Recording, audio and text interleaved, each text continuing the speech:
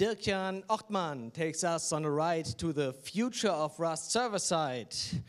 To learn what async fate we will have to await, meanwhile, let us rust far and wide.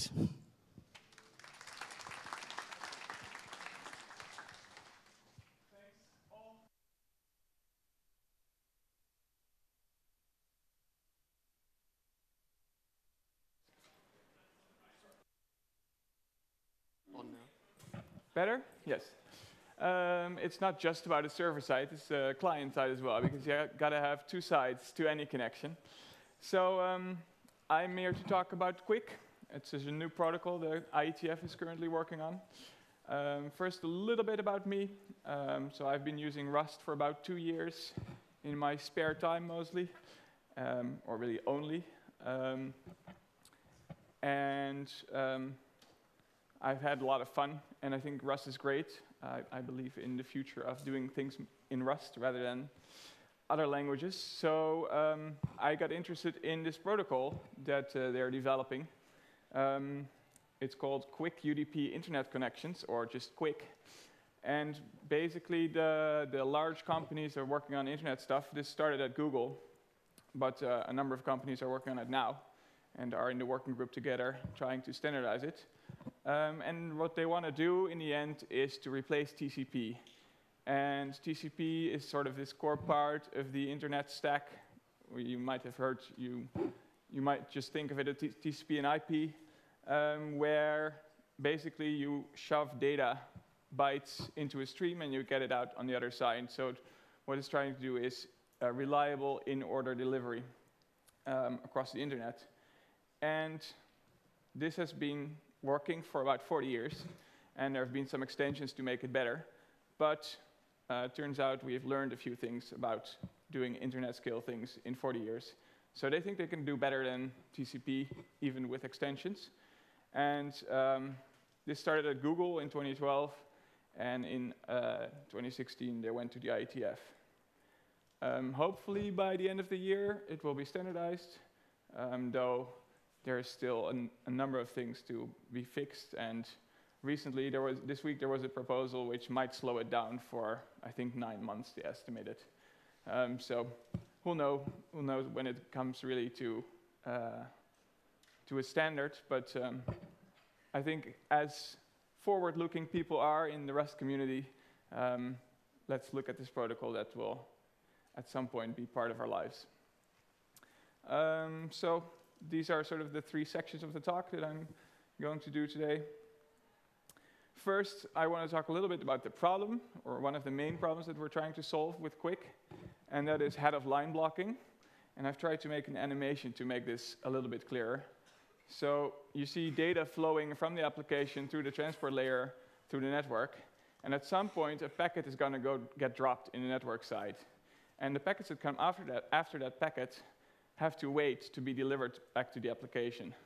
So as you can see, they get buffered in the transport layer, and then once the packet is retransmitted, then they can be delivered to the application.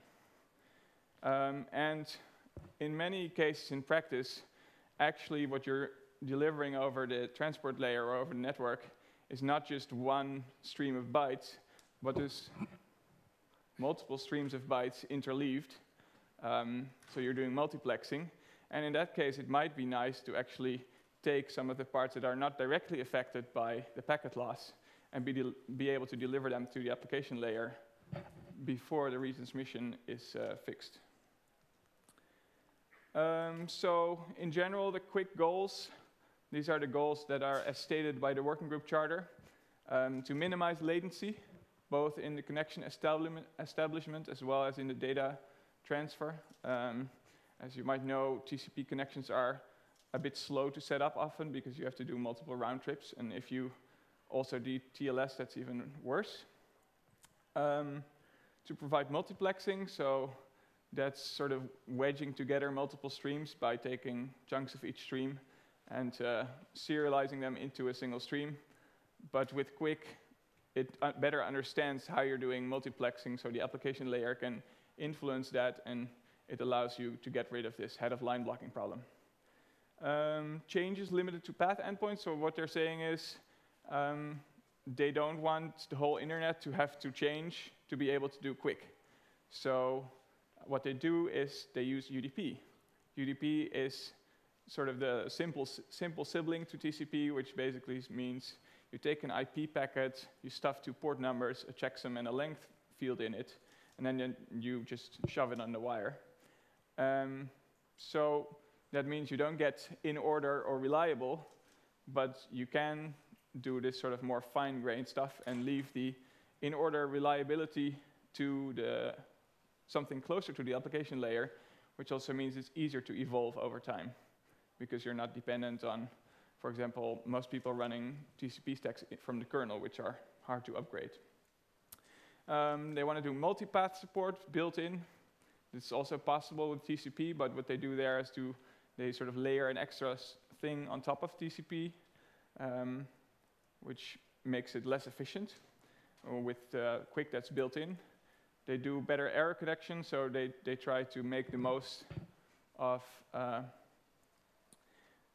error robustness um, against problems from the packet. Um, also with QUIC, security is built in, so they use, uh, they reuse a lot of the stuff that's from TLS, although they rely on TLS 1.3, um, but it's always there, unlike with TCP, where you get TCP and then you can layer TLS on top of it. So even though these days it's getting more and more common to just use, always use TLS on TCP, with QUIC it's built in and that's nice. Um, and what they're saying is uh, we want to rapidly do development and testing, so it will not just be this version of QUIC um, and then coast along for a long while, um, but they expect that there will be revisions of QUIC, so there's stuff like version negotiation built in, and uh, that makes it possible to, at some point, move the ecosystem forward without having large flag days. Um, QUIC is split up currently in six documents. That's uh, nice because it makes it a bit easier to get to the parts you find interesting or to maybe at some point do more modular protocol implementations. Uh, first one is invariance, so they try to document stuff that cannot change across versions, so that uh, that helps if you're doing good version negotiation or you want to try to be robust against future protocol changes. Transport is like the core protocol logic, so it has all the stuff about the handshake and how the um, data is transferred. Recovery is all about loss detection and congestion control, so um, if packets get lost, how do you detect it? What do you do when you detect it? Uh, that sort of thing. Or if the flow of the network is restricted, um, what's the best way to handle that? And all of, a lot of these algorithm are, algorithms are described in the spec specification. Uh, TLS, so that is how is that promise of security um, realized.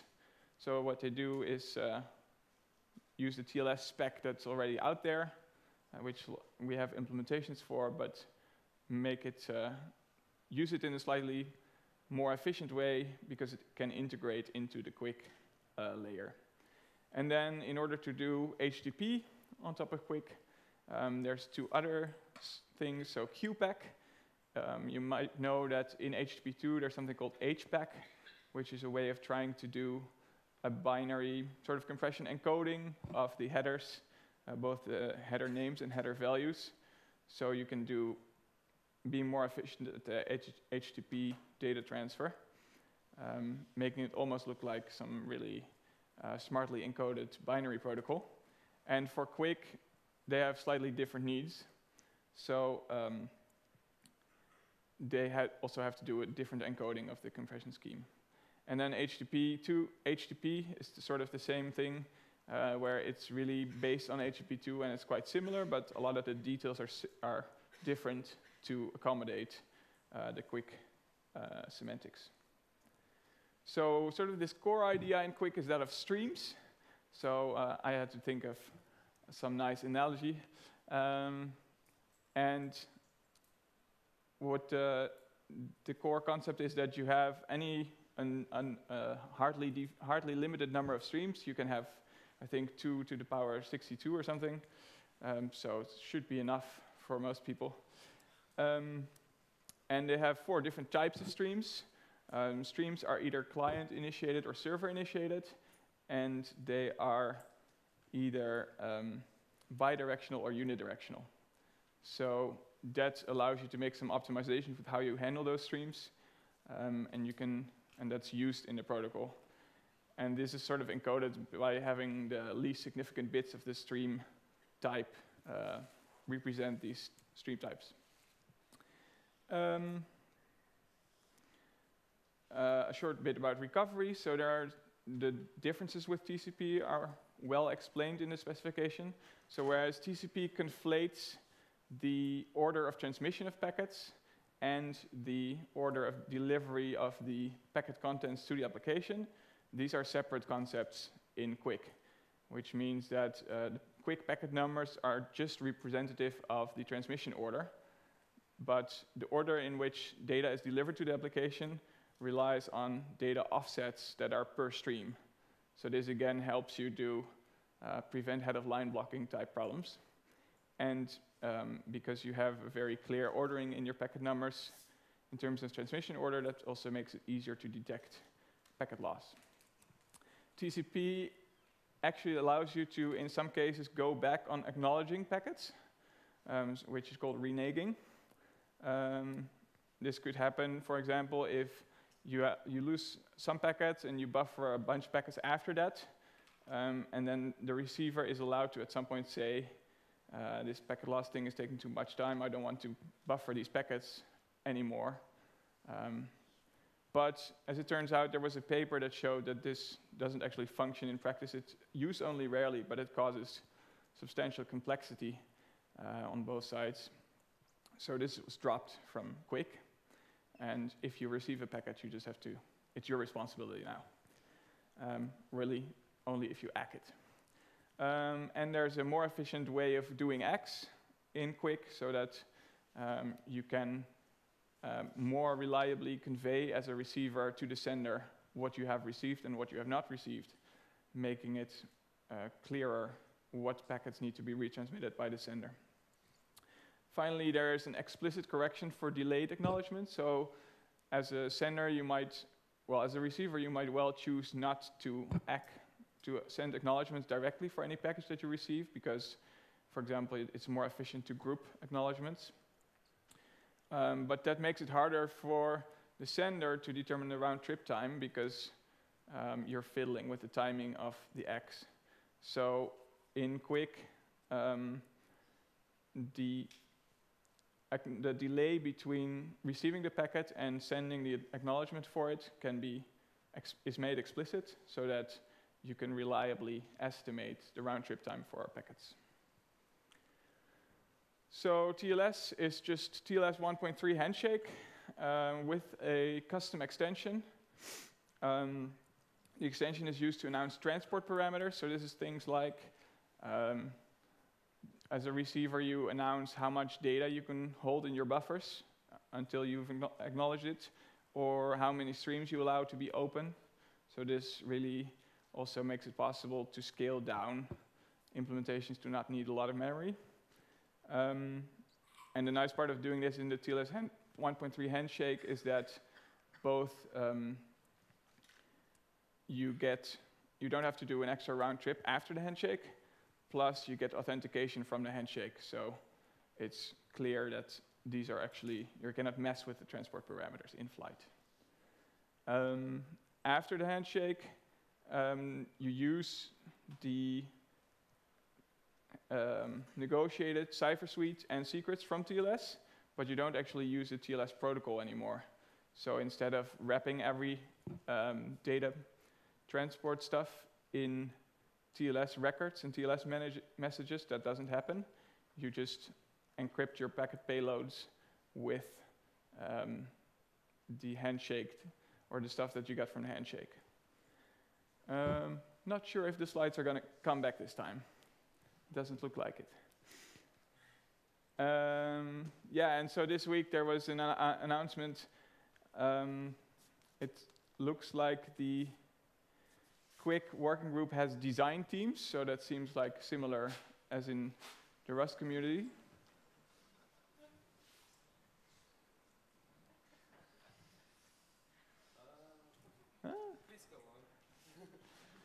And uh, the design, does, there's a Stream Zero design team. Stream Zero is the stream that carries the TLS um, handshake and, and further messages.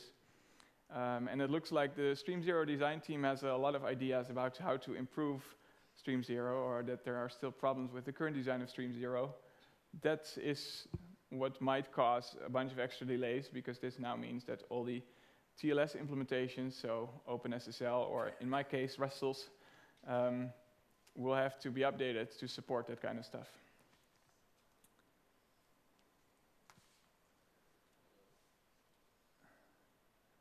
My next slide is about QUIC HTTP. and uh, QUIC HTTP is negotiated as a application layer during the application layer protocol nego negotiation. That's part of the TLS handshake that works today. It's used for HTTP2 as well, for example. Um, in this case, you just say, you can say just HQ to say, hey, I support uh, HTTP QUIC over QUIC. You can also do things like saying, I support HQ on this particular port. So your regular um, HTTP1 web server can, in its TLS handshake, say, if you go to this other port, you can talk to me over QUIC. And it can also mention the QUIC version supported, so that that's uh, quite nice and prevents you from having to do more round trips to do all that, figure all of that out. And as I mentioned, uh, QUIC HTTP is built on HTTP2, so it's really similar semantically, but a lot of the bits on the wire are slightly different. Um, I have a interoperability matrix it's a really nice visual with uh, colored cell cells and uh, a lot of letters on it. So really what they do in the working group is, um, you might know that the IETF um, is based around the motto rough consensus and running code. And this really represents the running code part of it.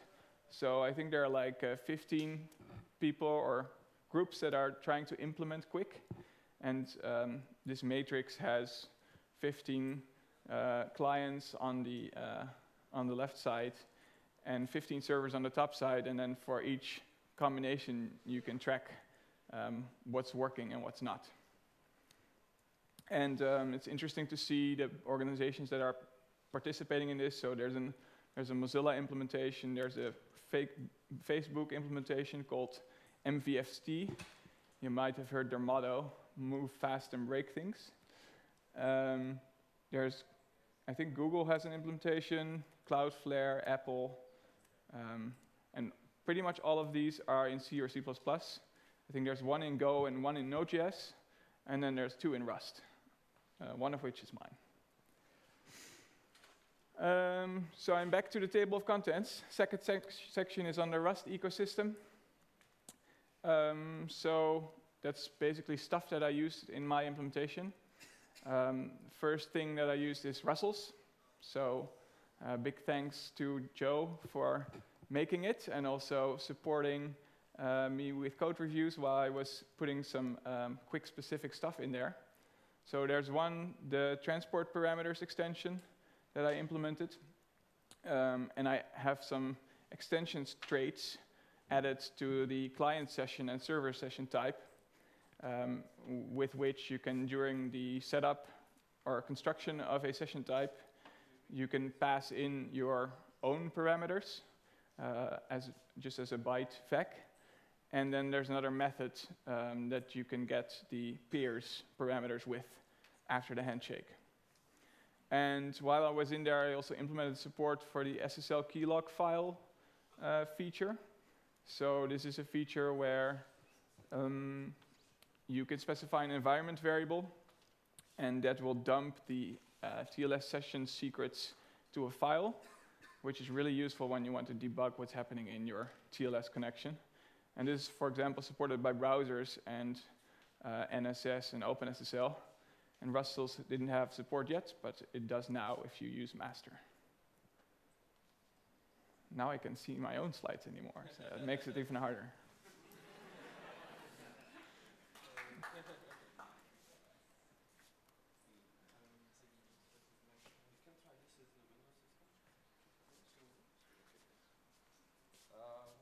Get you back to the slide, Okay, uh, then we'll fix it. good. We'll fix it. We Uh, still have the recording, so it's a good talk. Um, so I'll just try to go on from memory for a little bit. Um, so I also used. Uh,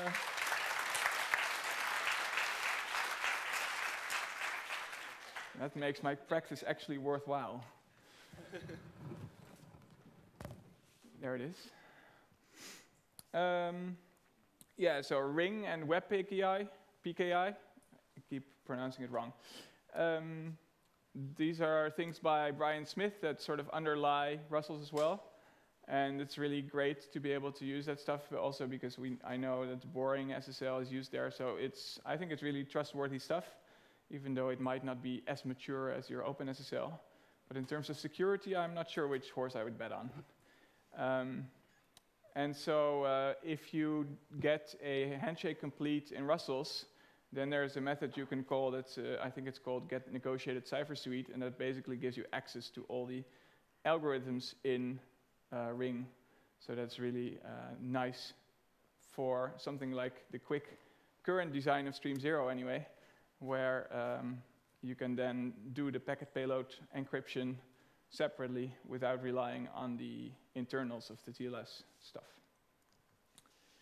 I also made use of Futures, Tokio, and H2.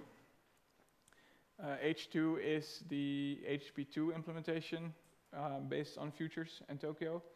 Um, I had worked before with Futures in Tokio IMAP, but it was relatively simple because they were just futures that um, pulled their internal futures uh, for the networking stuff. But um, I was looking at how H2 implemented their API of um, you know, how it exposes sort of the fake multiplexing that HTTP2 does to the uh, API user. And what they do is there's a streams object um, that's part of a connection, and they give a clone of that to the API user. And then uh, th if you uh, send some bytes through that streams object, the streams object will notify the connection and make sure it sends it off over the connection. So I'm uh, working on a similar design of the API for my implementation. Um, and it's, uh, I learned a bunch of new stuff about futures in Tokio in the process. So that was fun. Uh, final crate that I used is Bytes Crate, which uh, has been around for quite a while. I stole an idea from. Hooray! Nice.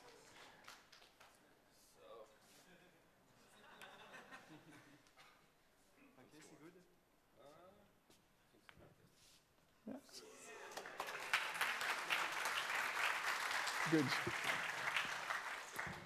Um, I stole an idea from Rustls where it has a codec trait which uh, knows or provides an API for encoding and decoding types to bytes. Um, and I tried to, um, or I looked at how it was done in Rustls and also in other crates, and it, they were using the Buf and BufMut traits. And that's a really neat way of sort of keeping track of where you are in a buffer um, and putting bytes in or getting bytes out. Um, so this is used for all the low-level encoding and decoding, and because QUIC is trying to be very efficient about using bandwidth, there's a lot of details in the encoding and decoding for how to do like variable length integer encoding and that kind of stuff. Um, so there we go into the last section. Um, the goals for my implementation. So yes, uh, for the past two months, I've been working on my own implementation of QUIC. Um, it's called Quinn. Um, it's named after a uh, character from a science fiction book, which uh, I've done with other projects as well. Um, the goals for this implementation were to first to implement the specification faithfully, uh, so we can fill up that interoperability matrix, um, which I'll just quickly show to you so you have an idea of what it looks like. Um, uh, second, to have clear abstractions and concepts so that there will be a good API. Um, I think earlier it was said that uh, libraries without or with with bad documentation aren't really that useful. Currently, there is no documentation yet, so in that sense, this is not a very useful library, but um, I'm trying to get score some points on interoperability before I get to documentation. Um, it's fully futures-based. There's no polling going on. Um, and I like to leverage the type system for all that stuff. Since we have this good type system, might as well, well make use of it. So there's no booleans. It's all like enums that are, say, uh, the direction for this stream is uni or bidi. And uh, instead of having some kind of boolean that says uh, false or true.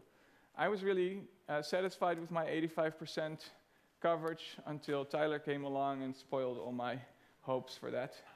So now I'll have to do a bunch more stuff to make it better. Um, this is kind of a nice technique, I think, for figuring out whether the design for your code is good. Um, to try to figure out if there's a nice layering in it. So on top, there's a client and a server. That should be pretty straightforward and conceptually correct. Um, what I've done is put a connection state object in there. So because unlike in TCP, where typically your server is accepting connections and then gets a different socket for each connection, in QUIC there's just a UDP socket, and it's just there, and you get stuff out of it. So for a server, there's just one socket, but you have to manage a bunch of connections. So I've chosen to keep this connection state object separate and keep the socket in the client or server instead. Um, and that also is actually nice for testing because you can just sort of do all your protocol interactions without having to deal with network stuff. Um, then there's the parameters module, uh, which deals with the tra transport parameters. There's the stream stuff that has the streams object. TLS is fully abstract in the sense that the rest of the implementation doesn't know about Rustls, but just deals with what's in that module. And then the, the rest of the stuff is basically about low-level encoding and decoding uh, types to bytes. Mm, current status of the implementation. I'm targeting draft 11 with TLS 1.3 draft 28, uh, as most implementations are doing right now. Um, draft 12 was released this week, so people will move on soon, but I think there's another interoperability event first, so for that event, people will mostly stick to draft 11. Um, the client, my client, the Quinn client can handshake with other servers pretty good, pretty well. Other clients with Quinn server, not as well, um, because I made some simplifying assumptions that were, turned out to be uh, not so interoperable. Um, most implementations don't have much in the way of actual QUIC HTTP yet, so they're just throwing HTTP 1 over one of the streams or multiple of the streams uh, in order to be able to test sort of the lower level bits of the protocol. I hope to keep this implementation moving forward. Uh, that depends a bit on my free time. Um, it is a big job because there's a lot of stuff to deal with, uh, which you may expect if you're sort of dealing with this whole um, thing that transfers bytes across the internet. Um, and it's not just doing the job of TCP, but also a, a sort of re-implementation of HTTP2. Um, so it feels sort of like fractal complexities. Everywhere you go into detail, there's more to deal with. But uh, I've just been taking it from the start of the connection, and that seems a workable approach. There's one other Rust implementation by Benjamin Saunders. Um, I had not found it when I started my implementation, or I may have reconsidered doing so. Um, he uses OpenSSL instead of Rustls, and I think he spent uh, way more time hacking OpenSSL to support the extra stuff, or the OpenSSL bindings to Rust to support extra stuff than I spent on fixing Rustls. Um, so at some point, I want to consider whether it makes sense to share more code. Um, he has a sort of networking less, core, and then a, a, a, small Tokio layer on top of it, so it can also do Tokio. And his implementation is currently more mature, so it handles a bunch more stuff in that interoperability matrix. So if you are looking for a fun project, project to contribute to, then uh, consider this one. Um, I've put some issues in the repository, uh, even if you don't have much experience with Rust or networking protocols. Um, I'm happy to help you get stuff done. And uh, I'll be here it, at the conference for the rest of the uh, for the weekend and also the impl days. Or if you want to contribute some funding to be able to use this in a real setting, then I'd also be very interested in talking to you. Uh, that's all I have. Thanks. I